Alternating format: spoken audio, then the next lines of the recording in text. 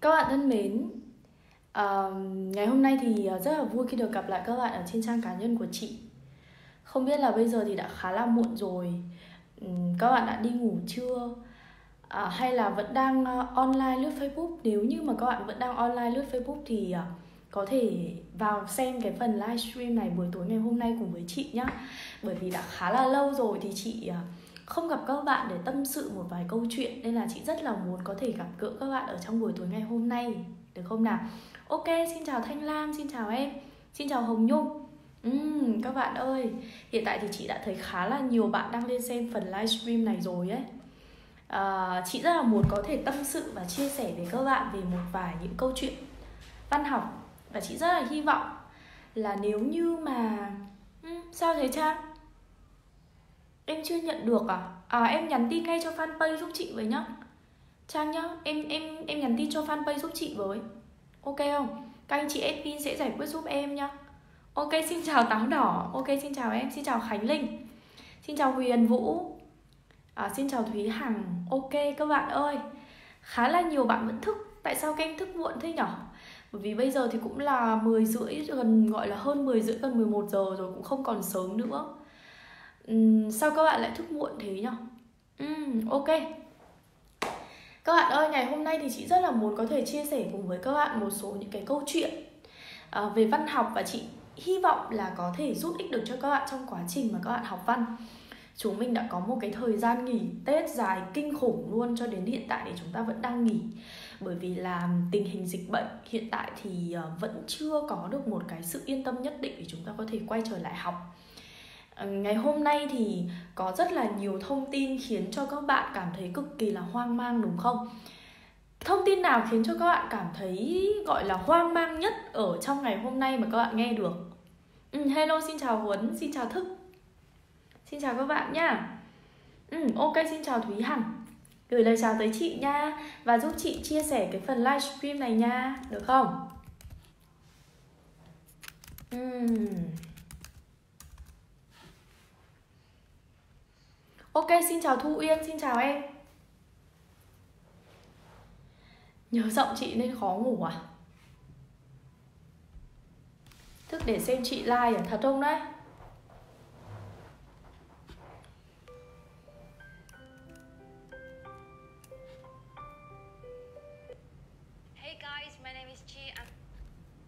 Đợi chị xíu nhá, chị muốn mở một chút nhạc nền thức ôn thi nên chưa ngủ à? Chăm thế ư? Chăm thế đã thức. Uhm, các bạn ơi thông tin nào khiến cho các bạn cảm thấy hoang mang nhất ở trong ngày hôm nay mà các bạn nghe được? À chắc chắn rồi. Đó chính là cái thông tin mà rất là có khả năng là sẽ bỏ cái kỳ thi trung học phổ thông quốc gia của năm nay. Được không nào? Hãy lưu ý một điều rằng là đó là trường hợp xấu nhất. Được không ạ? Đó là trường hợp xấu nhất còn bản thân chúng ta thì không ai mong muốn cái trường hợp xấu nhất đó xảy ra cả, đúng không? Thế nên là chị muốn là các bạn của chị cần phải giữ được cái sự bình tĩnh nhất định.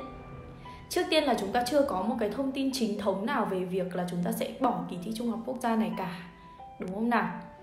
Cái thứ hai, chúng ta cũng phải biết được rằng là vừa rồi thì bộ đã ra đề thi minh họa và hiện tại là chúng ta vẫn đang học online để có thể đảm bảo được cái quá trình mà chúng ta ôn thi, chúng ta học ở trên lớp ok chưa? Thế nên là chị muốn là các bạn hãy giữ được cái sự bình tĩnh bằng việc là thay vì cái việc là chúng mình kiểu là băn khoăn về việc là ôi, không biết là có thi hay không? Thì các em cứ ôn thi đi, được không ạ? Cứ ôn thi đi. Hãy tin tưởng, được không? Vì chị tin là mọi chuyện rồi nhất định sẽ ổn thôi. Thế nên là kiểu gì thì kiểu các bạn cũng phải thi thì mới vào được đại học. Ok chưa nào?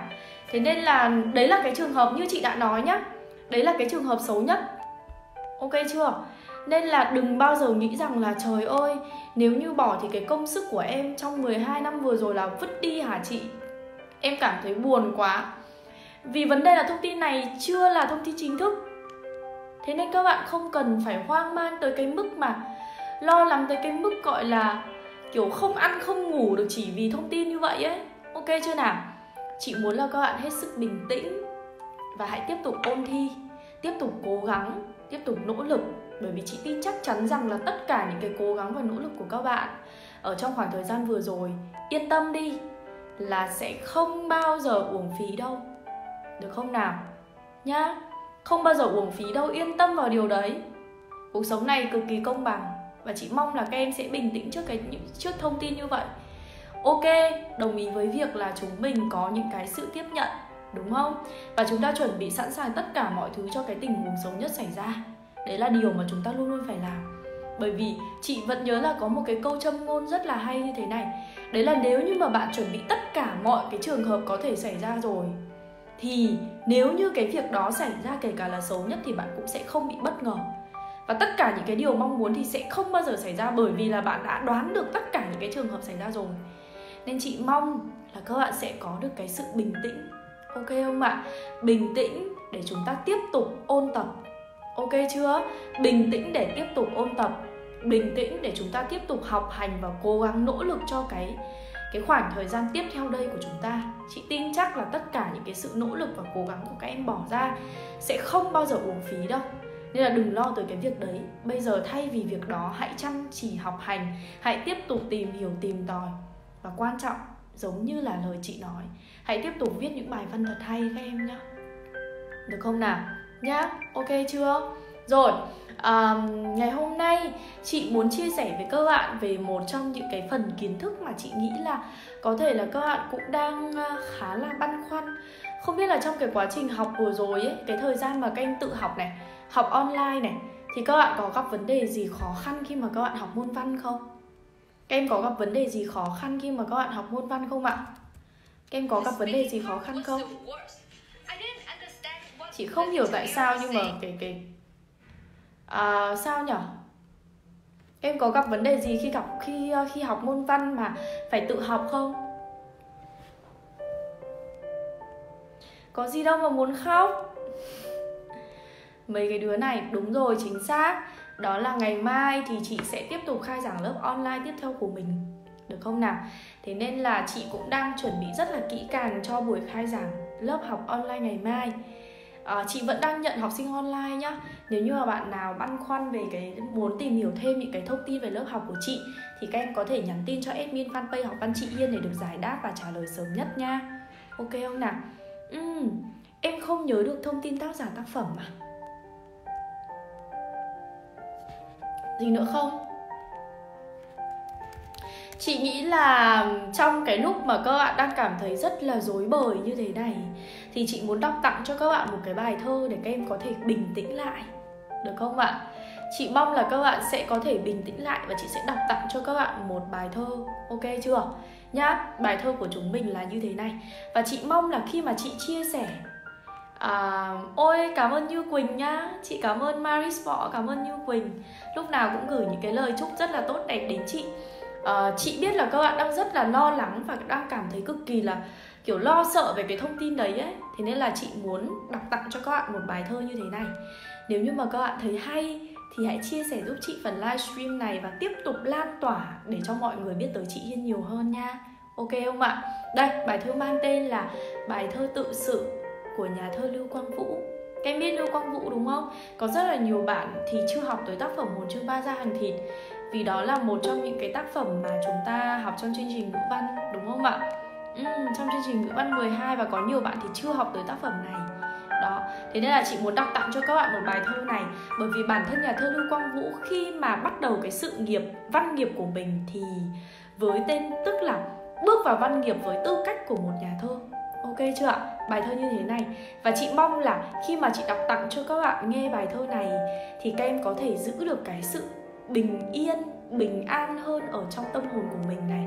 Và các bạn sẽ từ từ tiếp nhận cái việc đó và để rồi nếu như mà tất cả những cái vấn đề gì có xảy đến với chúng ta, thì các em cũng sẽ sẵn sàng đón nhận nó. Bởi vì chị luôn luôn cảm thấy tự hào vì các bạn đã rất rất cố gắng trong thời gian vừa qua rồi. Thực sự là như vậy. Đợt vừa rồi thì trên fanpage học văn chị Hiên có tổ chức một cái gọi là chiến dịch 7 ngày học nghị luận xã hội. Và chị đã thấy có những bạn cực kỳ là nghiêm túc tham gia vào cái chiến dịch đấy các em đã hoàn thành 7 ngày cực kỳ là tuyệt vời. Và ngày mai và ngày kia sẽ là ngày của team chị Hiên. Sẽ là ngày mà chị cùng với team của mình sẽ nỗ lực hết sức để trả lời tất cả, nhận xét cho tất cả những cái bài viết mà các bạn đã gửi đến. Thế nên là các em đừng lo, với cái quyết tâm là không bỏ sót một bạn nào, không bỏ sót một bài nào, thì chị sẽ cố gắng hết sức vì các em. Ok không ạ? Bây giờ sẽ là cái bài thơ mà chị đọc tặng cho các bạn nhé chị hy vọng là các bạn sẽ thích nó như thế này. Bài thơ tự sự của nhà thơ nhà viết kịch lưu quang vũ. Dù đục dù trong con sông vẫn chảy, dù cao dù thấp, cây lá vẫn xanh. Dù người phàm tục hay kẻ tu hành, đều phải sống từ những điều rất nhỏ. Ta hay chê rằng cuộc đời méo mó, sao ta không tròn ngay từ trong tâm? Đất ấp ôm cho muôn hạt này mầm, những chồi non tự vươn mình tìm ánh sáng. Nếu tất cả đường đời đều trơn láng chắc gì ta đã nhận ra ta. Ai trong đời cũng có thể tiến xa, nếu có khả năng tự mình đứng dậy. Hạnh phúc cũng như bầu trời này vậy, đâu chỉ dành cho một riêng ai. Các em ơi, nhớ nhá. Hạnh phúc cũng giống như bầu trời này vậy, đâu chỉ dành cho một riêng ai. Thế nên là cuộc đời đôi khi có những cái điều mà chúng ta cảm giác rằng là chúng ta đang cảm thấy rất là hụt hẫng với điều đấy, và chúng ta không thể nào mà vượt qua được thì chị tin là ở đâu đó vẫn có những cái cánh cửa rất là tốt đẹp dành cho chúng ta. Và chỉ cần các bạn kiên cường với lựa chọn của mình thôi, thì chắc chắn là các em sẽ bước qua được hết tất cả những cái vất vả đó. Ok không nào? Chị mong là các em có thể giữ được cái sự bình yên. Trước tiên là bình yên ở trong tâm hồn của chính mình để chúng ta tiếp nhận mọi chuyện. Nên là không được buồn, không được hụt hẫng, không được lo lắng, mà hãy tiếp tục tiến về phía trước với tất cả cái sự dũng cảm của mình chúng ta sẽ không bao giờ hối hận vì những điều mà chúng ta đã làm đâu thế nên cố gắng lên nhá cố gắng lên ok chưa rồi À, các bạn ơi, ngày mai thì các bạn ở trong lớp online của chị à, chúng ta sẽ khai giảng vào lúc 8 giờ 30 nha. Yên tâm là chị sẽ có một cái bài đăng để thông tin dành cho các bạn. Nên là các bạn không cần phải quá lo lắng về việc này. Ok chưa nào? Rồi, à, chị thấy là có một số những cái vấn đề mà các bạn Ờ, đưa ra cho chị ở đây về việc học văn. Và chị cũng rất là muốn mình có thể giải quyết cùng với các bạn những cái vấn đề này. Ôi cảm ơn Minh Thư nhá, đã theo dõi chị được 3 năm rồi cơ à đúng là thời gian trôi rất là nhanh đúng không? Ừ, thời gian trôi nhanh quá. À, trôi qua là chúng ta kiểu như là mỗi khi mà để cho bản thân mình có một cái giây phút nào im lặng và nhìn lại thì đã cảm thấy là ôi thời gian trôi qua thật là nhanh. Đúng không? Thời gian trôi qua thật là nhanh. Rồi à, các bạn ơi à, nào cho chị một vài vấn đề chị sẽ cùng với các bạn giải quyết ở trong buổi tối ngày hôm nay. Dù kể cả là ngày mai trời có sập xuống hay là ngày mai có chuyện gì không như mong muốn thì chúng ta vẫn nên vui vẻ trong ngày hôm nay các bạn ạ. Bởi vì chúng mình không thể nào lo lắng được cho ngày mai được. Điều quan trọng nhất là chúng ta phải sống hết mình cho ngày hôm nay cho ngày hôm nay là ok rồi. Được không nào? Nên là chị mong là các em lúc nào cũng vậy hãy nghĩ rằng biết đâu hôm nay hôm nay chúng ta phải có một ngày thật là vui vẻ bởi vì biết đâu là ngày mai cũng sẽ như thế. Thế nên là chị mong là các bạn sẽ thôi nhá. Không lo lắng gì nữa nhá. Bây giờ quay trở lại có những vấn đề gì thắc mắc về việc học văn này có thể hỏi chị này khó khăn gì về việc chọn trường chọn ngành này hay là bất cứ câu hỏi gì của các bạn cũng được ok không? Uh, gì cũng được miễn là các bạn hỏi chị và chị sẽ giải đáp cho các em ôi cảm ơn quỳnh thương nhá. Hai năm rồi nhanh quá đúng không? Ok này em thấy cô phê bình gì đấy? Em hay bị cô phê bình trình bày bài văn chưa đúng? Đợi chị chút xíu nhá. Uh, tại vì là cái cái comment của quang huy thì rất là dài ấy. Ừ, phương pháp học văn thế nào? Học văn cứ đi đâu đấy? Đây là câu hỏi mà chị nhận được của rất là nhiều bạn chứ không phải là uh, chứ không phải là chỉ của riêng một bạn nào đấy. Em có muốn chia sẻ chị chia sẻ về việc học văn như thế nào cho nó hiệu quả này? Uh, hiệu quả này. Um, mà lại kiểu đạt được kết quả cao.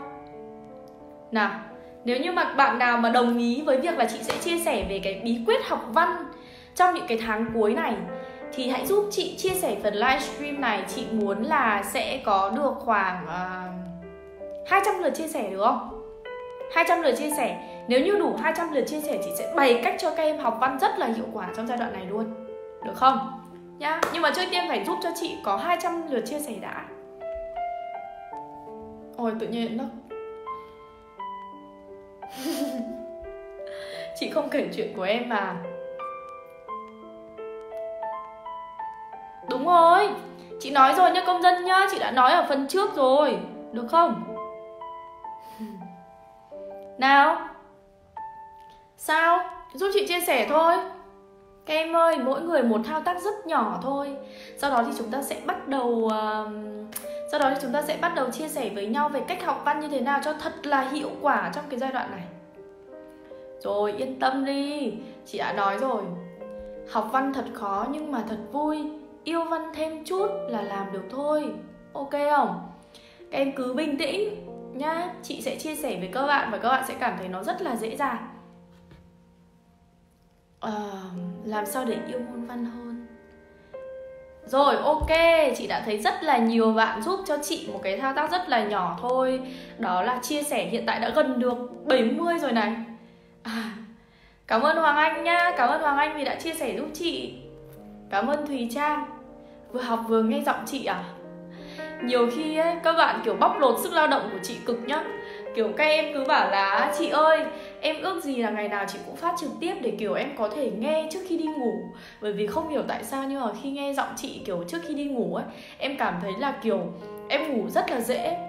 Thế nên là chị cảm thấy là đôi khi là kiểu các em kiểu giống giống như chị kiểu giống như là kiểu một người du ngủ cho các bạn ấy.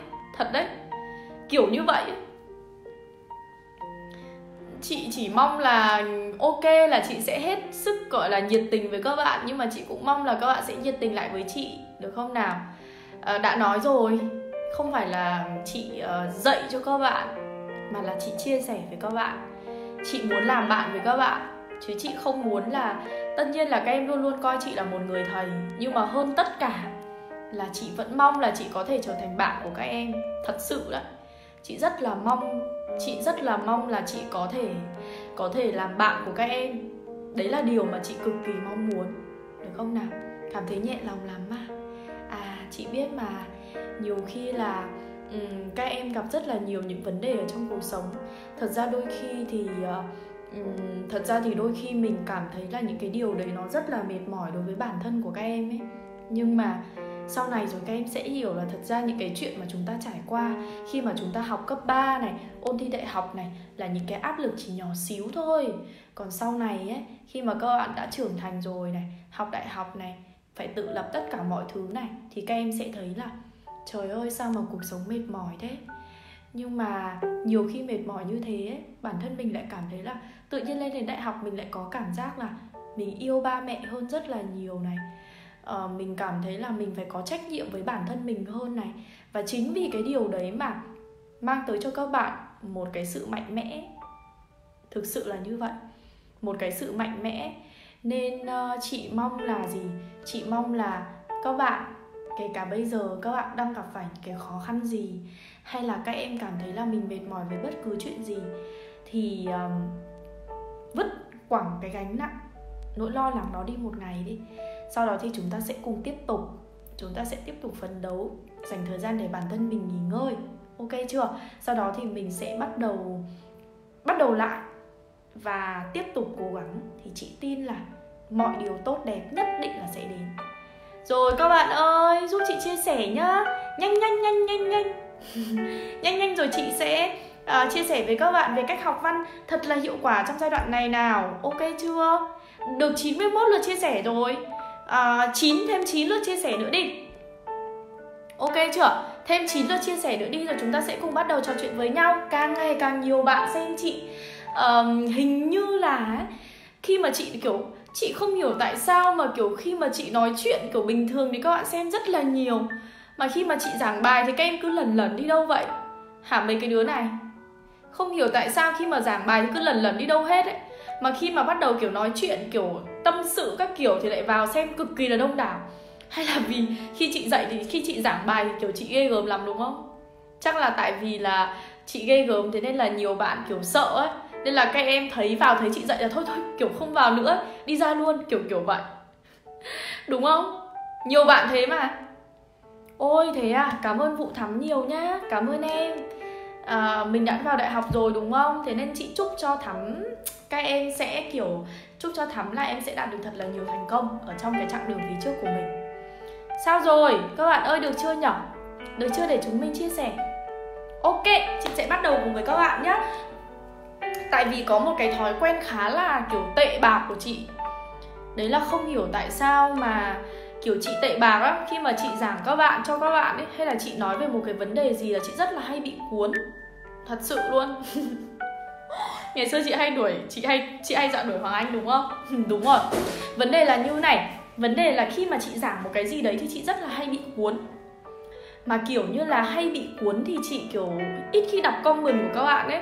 Nên là xin các bạn, trước tiên là mong là các bạn sẽ thông cảm cho chị khi mà chị bắt đầu cái phần chia sẻ của mình. Và tất nhiên là chị vẫn đang nhìn cái phần comment của các bạn, chẳng qua là chị không đọc những cái phần đó lên thôi. Nên chị mong là các em sẽ um, chị mong là các em sẽ kiểu bình tĩnh nhất kể cả chị không trả lời comment thì các bạn cũng bình tĩnh nhá. Bởi vì thói quen của chị đôi khi là như thế rồi ấy. Đó rồi nói trước để thông cảm với nhau như thế. Ok chưa? Nhá nói trước để thông cảm với nhau như vậy. Còn bây giờ thì chúng mình sẽ cùng bắt đầu nhá. Ok ạ? Uhm. các bạn ơi uhm, chị không biết là tại sao các bạn lại không thích môn văn. Thật sự là như vậy có thể là vì các bạn cảm thấy môn văn là một môn học cảm thấy rất là nhàm chán. Hay là các em nghĩ rằng đây là một môn học không cần thiết đối với chúng mình bởi vì đó là những cái thứ lan man và dài dòng lắm. Thật sự đấy. Ngày xưa, khi bằng tuổi các bạn, chị cũng có những cái cảm giác như vậy khi mà học môn văn. Bởi vì chị cảm thấy đây là một cái môn học kiểu gì ấy, mà cứ suốt ngày phải kiểu đọc đọc hoài, viết mỏi tay kinh khủng luôn ấy. Chị không biết được là tức là lúc đấy bản thân chị cũng là người cảm thấy cái môn văn nó là một cái môn học mà. Chị không biết là là nó sẽ giúp ích cho mình cái vấn đề gì nữa. Thế nhưng mà um, chị thấy là khi mà học ở trường ấy thì đối với những bạn mà học giỏi môn toán ấy thì kiểu sẽ được nhiều thầy cô kiểu quan tâm hơn. Bởi vì là cũng có thể là bởi vì ngày xưa thì chị không học lớp chuyên văn mà chủ yếu là các bạn ở ban tự nhiên. Thế nên là kiểu chị cảm giác là bản thân mình là người học văn thế nên là mình thấy kiểu mình hơi bị lạc lõng ấy, kiểu vậy. Không biết là các em có bị rơi vào cái tình cảnh giống như chị không? Đôi khi bản thân mình cảm thấy lạc lõng ở trong lớp học của mình, bởi vì mình đi theo một cái con đường khác. Con đường này thì ít người chọn hơn. Nhưng sau này, khi va chạm với rất nhiều thứ rồi, thì chị lại hiểu rằng là đôi khi là lúc đấy mình cảm thấy hoảng sợ bởi vì mình đang đi một con đường khác nhưng mà sau đấy, khi mình đi rồi, thì mình lại cảm thấy rằng là, thì ra nếu như mình đi một con đường khác mà có ít người đi hơn ấy, thì cái cơ hội và khả năng thành công của mình cũng sẽ cao hơn. Được không? Đó đó là lý do tại sao mà đến bây giờ chị cảm thấy cái niềm tin của mình được củng cố rất là nhiều. Khi mà chị theo môn văn, chị ngày càng yêu môn văn và chị cảm thấy đây là một cái môn học hết sức là tuyệt vời và thú vị. Thật sự là như vậy chị cũng không biết là tại sao các bạn lại không thích môn văn. Có thể là vì một số những cái lý do như ở trên, đúng không? Nhưng mà cũng có thể là vì các bạn cảm thấy rằng là môn văn không giúp ích gì cho mình và các em nghĩ rằng những người học văn thì kiểu không có tương lai. Thế nhưng mà sau này thì chị thấy rằng là môn văn là một cái thế giới diệu kỳ lắm. Chị học văn và chị cảm thấy là trước tiên là mình có cái cơ hội về nghề nghiệp rất là rõ ràng. Mình lên đại học mình có những cái lợi thế nhất định bởi vì là chị thấy rằng là cái việc diễn đạt các cái vấn đề của chị so với mọi người, so với một số người là mình, kiểu, diễn đạt một cách dễ dàng hơn này. Chị đi làm ở công ty thì chị trình bày ý tưởng của mình một cách suôn sẻ hơn này. Và quan trọng nhất là chị cảm thấy là mình tự tin hơn. Thật sự đấy chị cảm thấy là mình tự tin hơn. Có thể là mình cảm thấy rằng là khi mà mình giỏi bất cứ một cái ngôn ngữ nào thì mình cũng cảm cảm thấy tự tin về những cái điều mà mình đang nói. Đó. Có thể là vì như vậy bởi vì thế chính vì thế mà đôi khi trong những cái bài thuyết trình chị cảm thấy tự tin về điều đấy. Và chị cảm thấy rằng nó là một cái điều rất là tuyệt vời đối với bản thân của mình. À, và càng ngày đi cùng với các em chị lại càng cảm thấy yêu cái môn học này rất rất là yêu. Yêu hơn rất là nhiều bởi vì văn học mang tới cho chị một cái thế giới cực kỳ là thú vị. Thú vị ở chỗ là chị không phải là một người trở thành một cái con người viển vông, bay bổng lúc nào cũng như là trên mây, tâm hồn treo ngược cành cây, mà chị sống rất thực tế. Sống thực tế ở đây nhưng mà bản thân mình là người học văn thế nên mình có rất là nhiều những cái cảm xúc, mà những cái cảm xúc đấy khiến cho bản thân của chị trở thành một cái người, gọi là, nhạy cảm hơn nhạy cảm hơn ở việc là chị biết là cái người đối diện đang nói chuyện với mình, họ cần điều gì từ mình. Thật sự là như vậy. Và chính cái điều đấy khiến cho các bạn cứ bị cuốn bởi chị, cuốn bởi chị. Tại vì sao mà đã mấy năm trôi qua rồi mà vẫn có những cái bạn mà tiếp tục tiếp tục theo dõi chị. Không chỉ là theo dõi cái quá trình chị giảng dạy mà còn tiếp tục theo dõi về cuộc sống của chị. Và chị cảm thấy đó là điều mà bản thân mình cảm thấy rất là tự hào thật sự là như thế. Các bạn ấy tâm sự rằng là khi mà nói chuyện với chị thì các bạn ấy cảm thấy được thoải mái, được chia sẻ, cảm thấy bình yên hơn. Và đối bản, đối với bản thân của chị, đó là một cái điều cực kỳ là hạnh phúc. Bởi vì không phải ai cũng sẵn sàng dành thời gian của mình cho người khác, đúng không? Và bây giờ 200 bạn đang cái xem cái phần livestream này, không phải là các em thừa thời gian, mà là các em mong muốn được chị chia sẻ. Và chị tin là chị sẽ là cái người gỡ những cái khó khăn mà các bạn đang gặp phải ít nhất là đang được lắng nghe các bạn và điều đấy khiến cho chị cảm thấy tự hào. Thế nên chị mới nói là học văn khiến cho chúng ta trở thành một người tinh tế hơn. Và chính bởi cái sự tinh tế của mình mà chúng ta nhận được nhiều sự yêu mến hơn từ người khác. Và đó không phải, đó là điều mà không phải ai cũng có. Được không ạ? À? nhá, đó không phải là điều mà ai cũng có. Nên chị mong là nếu như các em có đang lựa chọn văn và đang học văn thì hãy kiên định hơn với con đường của mình bởi vì chắc chắn là phía trước các em là một cái khung trời vô cùng rộng mở. Phía trước các em là một cái thế giới vô cùng tuyệt vời. Hãy đi đi để trải nghiệm. Và đừng sợ hãi. Nếu như các em có đang cảm thấy mình hơi bị lẻ loi một chút giữa lớp học của mình, giữa rất nhiều những bạn học khối tự nhiên, và cho rằng là các bạn ấy học thì sẽ có nhiều cơ hội hơn các em, thì chị chỉ muốn nói với các bạn một điều là nếu như các bạn cảm thấy là mình quyết tâm cho con đường này và các bạn đi thì chắc chắn là các em sẽ có được thành công nhất định. Không ở khía cạnh này thì ở khía cạnh khác. Được không nào? Nhá, nên chị mong là các bạn ơi, bình tâm và can đảm hơn với lựa chọn của mình. Nếu đã lựa chọn văn rồi thì hãy cương quyết đi theo con đường của mình nhé tại sao mà chị lại nói rằng môn văn là một cái môn vô cùng hấp dẫn? Ngày xưa chị không có nhiều cảm xúc như vậy. Nhưng đến bây giờ khi học cùng với các em, trò chuyện cùng với các em và chia sẻ cùng với các em. Đã có một lần đọc bài thơ của nhà thơ lưu quang vũ và chị đã cảm thấy nhói đau ở trong trái tim. Lưu quang vũ viết những cái vần thơ ở trong tác phẩm của mình như thế này. Nhà chỉ mấy thước vuông, sách vở xếp cảnh nồi. Nếu nằm mơ, em của tay là chạm vào thùng gạo. Ô tường nhỏ treo tranh và phơi áo ta chỉ có mấy thước vuông cho hạnh phúc của mình. Không hiểu tại sao khi mà đọc những cái vần thơ đó, bản thân của chị cảm thấy rất rất rất rất là xúc động. Có thể là bởi vì bản thân của chị đã dành nhiều thời gian để tìm hiểu về Xuân Quỳnh và Lưu Quang Vũ, Biết được câu chuyện tình yêu của họ.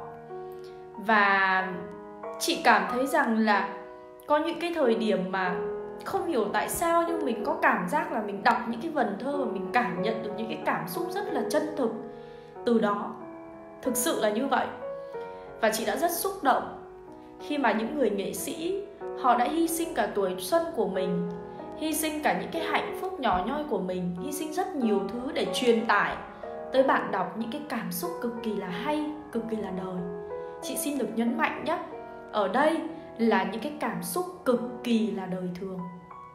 Có thể là vì đời thường là những điều gần gũi như vậy, nên tôi cảm giác chưa bao giờ những tác phẩm văn học lại gần gũi với bản thân mình đến thế.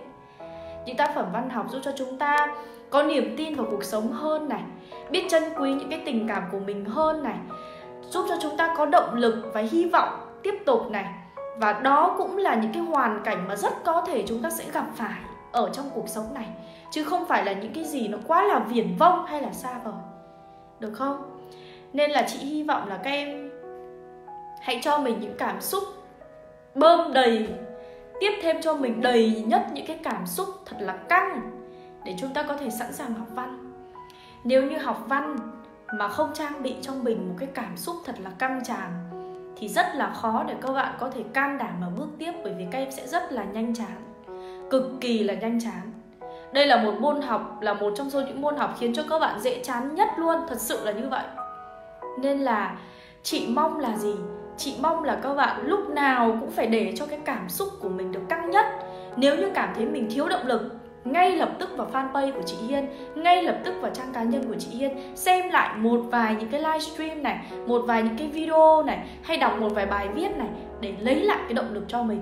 Mà nếu như các bạn còn cảm thấy là mình vẫn tiếp tục chưa có động lực nữa thì hãy nhắn tin cho chị để chị chia sẻ với các em một vài câu chuyện. Vì biết đâu những cái câu chuyện mà chị chia sẻ với các bạn giúp cho các bạn có thêm rất nhiều những cái động lực để các bạn tiếp tục con đường mà mình đang đi thì sao? Được không ạ? Rất quan trọng, động lực rất quan trọng. Được không nào? Cảm xúc rất quan trọng trong việc học văn và luôn luôn phải giữ được cho mình một cái sự ổn định và cân bằng trong cảm xúc của mình khi học văn. Đó là điều mà chị muốn chia sẻ với các em. Còn về việc học văn như thế nào? Được không nào? Chị sẽ nói cụ thể.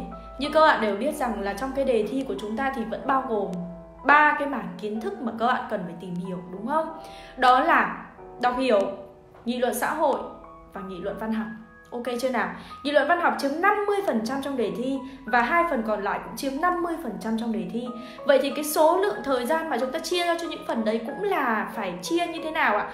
Cái phần nghị luận gì ạ? À cái phần nghị luận văn học riêng cái phần đó là phải một nửa thời gian và cái phần nghị luận xã hội và đọc hiểu cũng thêm một nửa thời gian nữa. Ok chưa? Thì ở đây như bản thân của chị ấy, thì chị thường là chị sẽ ôn về nghị luận văn học trước sau khi mà ôn về nghị luận văn học thì chị sẽ ôn về phần kiến thức nền này, ôn về phần phương pháp này, sau đó bắt đầu luyện tập các đề. Ok chưa ạ? Còn về phần đọc hiểu và nghị luận xã hội, cái phần đọc hiểu thì khá là đơn giản, chắc là chị sẽ phải cần dùng, chỉ cần dùng đến hai buổi là chị đã ôn xong về đọc hiểu rồi. Chia ra thành hai cái mảng chính, một là mảng kiến thức ngữ pháp và hai là mảng kiến thức thông hiểu, đúng không ạ? Và thứ ba là nghị luận xã hội thì chị học về phương pháp làm và chị bắt đầu luyện tập thì chúng ta có những cái phần mà chúng ta cần phải thực hiện như vậy. Các bạn cứ đều đặn chia mỗi ngày mỗi ngày chúng mình chỉ cần học chừng khoảng 30 phút thôi.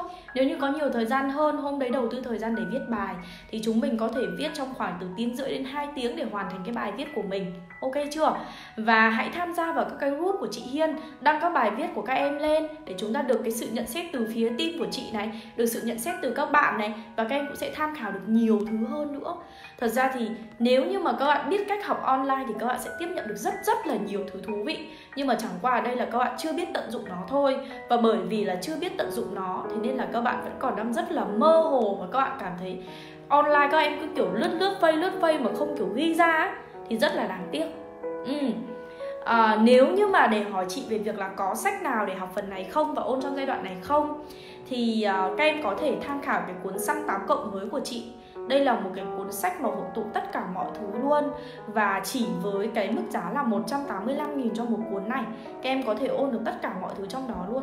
Chị à, bao về chất lượng cái cuốn sách này cho các bạn, được không ạ? Các em sẽ tìm thấy cái cách học, cái kiến thức văn rất là mới mẻ ở trong cuốn sách này. Nếu như mà muốn tìm hiểu nhiều hơn thì có thể nhắn tin cho chị, hoặc là nhắn tin cho fanpage học văn chị Hiên nhá. Được không nào? Uh, bây giờ nên làm mấy đề văn một tuần. Chị nghĩ là ở giai đoạn này các bạn đã có thể tăng tốc rồi. Thay vì việc là làm một đề một tuần thì bây giờ các em có thể tăng cường lên làm ờ, một đề hai đề một tuần. Ok không ạ tăng tăng tốc lên đừng để cho bản thân mình bị ì nữa. Rất là nhiều bạn ấy học văn theo kiểu là các bạn bảo là em không viết em chỉ nghe và em chép thôi. Em học thuộc thôi chứ em không viết. Chị nói này nếu như mà không có luyện tập ấy thì không bao giờ chúng ta có được sự tiến bộ. Là một vận động viên họ muốn đạt được huy chương vàng họ cũng phải luyện tập hàng ngày không ngừng không ngừng nghỉ. Thế nên các em nếu như muốn đạt được điểm cao môn văn thì các em cũng phải luyện tập hàng ngày hàng ngày không ngừng nghỉ. Ok chưa nào? Nhá.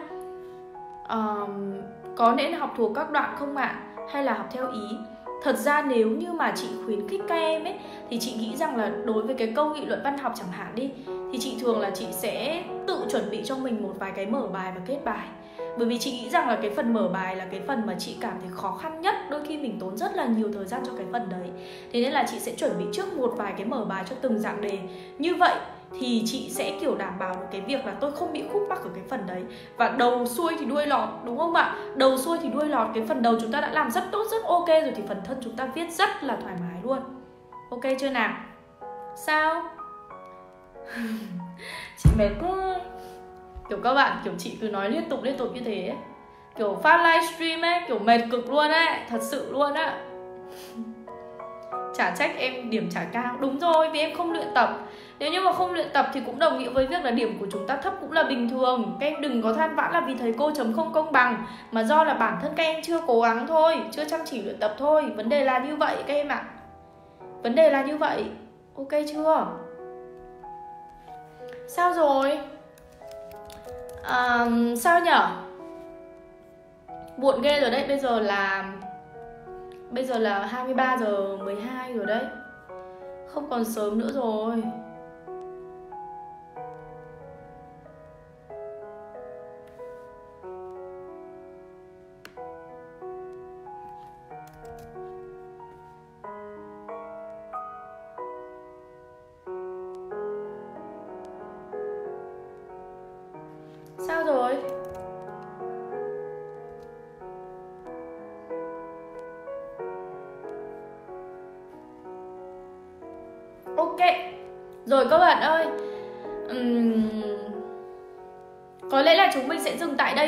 Vì bây giờ cũng khá muộn rồi 23 giờ 12 rồi. Chị nghĩ là các em cũng cần phải có thời gian để nghỉ ngơi. Tất nhiên là chị sẽ chia sẻ với các bạn rất là nhiều thứ nữa Ở trong những cái phần livestream tiếp theo nhá. Được không? Học báo có cần nhất thiết yêu cầu văn hay không? Em thấy mọi người cứ mặc định như vậy ạ. Thật ra thì đa số những người học báo thì cái diễn đạt Thật ra thì cái việc học văn ấy, điều quan trọng nhất là sau này giúp cho các bạn được một cái sự diễn đạt và một cái sự tư duy về ngôn ngữ rất là tốt. Và đấy là cái điều mà một nhà báo cực kỳ cần thiết thế nên là người ta auto nói rằng là nhà báo thì phải viết văn hay là đúng thôi, các em ạ. Điều đấy là viết văn hay là đúng thôi. Ok chưa? Nhá. Thôi được rồi, ngày hôm nay chúng mình sẽ tạm dừng tại đây thôi nhá. Cái gì? Làm sao để duy trì cảm xúc ạ? Đức ơi, như chị đã nói rồi. Đấy là sao nhở? Đấy là chúng mình phải, nếu như mà đôi khi cảm thấy tụt cảm xúc quá thì thì có thể vào fanpage học văn chị Hiên hay là vào trang cá nhân của chị, nghe bài chị đọc thơ này uh, nghe chị livestream này đọc một vài bài viết của chị này để lấy thêm năng lượng và nếu như mà có thể thì có thể thỉnh thoảng nhắn tin cho chị chia sẻ về câu chuyện của em. Yên tâm là chị sẽ đọc và chị sẽ lắng nghe cái câu chuyện của các bạn ok không? Nhá. Các bạn ơi à, ngày hôm nay để kết thúc cho cái phần livestream này chị muốn đọc tặng cho các bạn nghe bốn cái câu thơ rất là quen thuộc trong bài thơ mang tên gió và tình yêu thổi qua đất nước tôi của nhà thơ nhà viết kịch lưu quang vũ. Và đây xin được um, đọc tặng cho các bạn nghe bốn câu thơ này cực kỳ tâm đắc. Như sau. Gió và tình yêu thổi trên đất nước tôi như tiếng còi ngàn đời không khuất phục. Đất nước giống như con thuyền xuyên gió mạnh những mối tình trong gió bão tìm nhau. Được không nào? À, các bạn ơi hy vọng là ở trong giai đoạn này chị mong là hy vọng là ở trong cái giai đoạn này thì à, báo phát thanh truyền hình. À ok. Chị hy vọng là trong cái giai đoạn này chúng ta đang được nghỉ thì các em sẽ thực hiện tốt tất cả những cái yêu cầu của à, đảng của chính phủ đó là ở nhà đúng không? Tôi sẽ ở nhà. Hãy cam kết là tôi sẽ ở nhà. Được không? À, chúng mình ở nhà để chúng mình góp một cái phần nhỏ của mình vào. Được không ạ? Chúng mình ở nhà để chúng mình hăng say học tập hăng say nghiên cứu hăng say tìm hiểu và tìm ra những cái điều mới mẻ hơn.